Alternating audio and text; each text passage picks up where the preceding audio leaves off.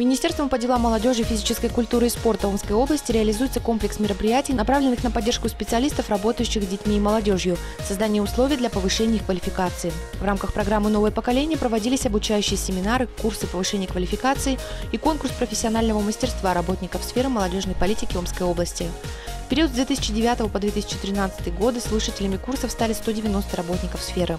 Участниками конкурса профессионального мастерства за годы реализации программы стали более 100 специалистов. Эффективность реализации молодежной политики в первую очередь зависит от профессиональной компетентности специалистов, работающих с молодежью. В 2013 году впервые проведен конкурс на лучшую организацию деятельности учреждений сферы молодежной политики муниципальных районов Омской области.